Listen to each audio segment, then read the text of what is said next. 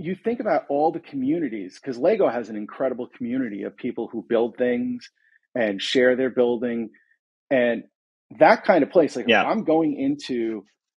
that kind of reality what i'm most optimistic about is community sharing ideas not necessarily that it's lego not necessarily that it's epic but considering that epic's engine is i mean it, it literally is unreal um, those things coming together get me so excited